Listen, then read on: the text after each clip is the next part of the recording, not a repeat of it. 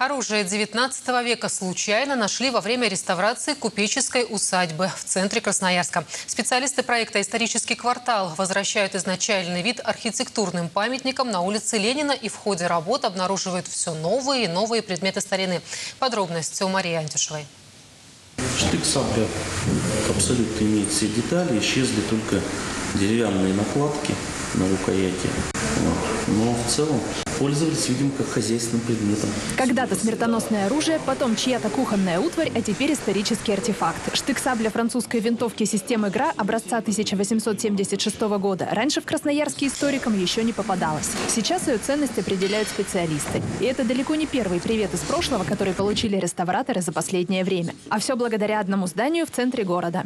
Ленина 84 – это объект, который единственный из всех, которые были перед акционерное общество, а, до последнего времени находился под отоплением. Это самая высокая степень сохранности этого объекта из всех имеющихся.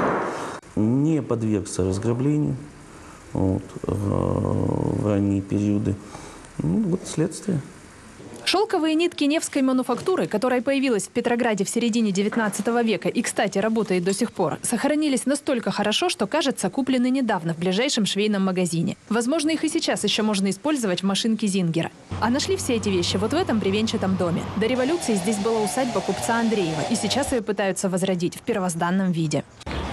Вскрывали полы, когда реставрацию полов производили, старую выкидывали. Она лежала, получается, под доской в промежутке. Потом, когда начали деревяшку отодвигать, она упала вниз на пол. Не придали этому значения, а потом уже, когда все отдали начальству, тогда уже увидели, что это раритетное оружие. Предыдущая историческая находка в купеческой усадьбе была сделана меньше двух месяцев назад. Тогда это были купюры и облигации царской эпохи. Их покупательскую способность специалисты оценили в полтора миллиона современных рублей. Вместе с ними обнаружилось и много бытовой утвари начала 20 века.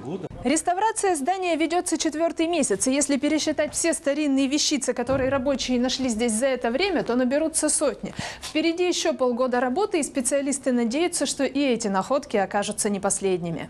Мария Антюшева, Алексей Гусев, Енисей. Новости.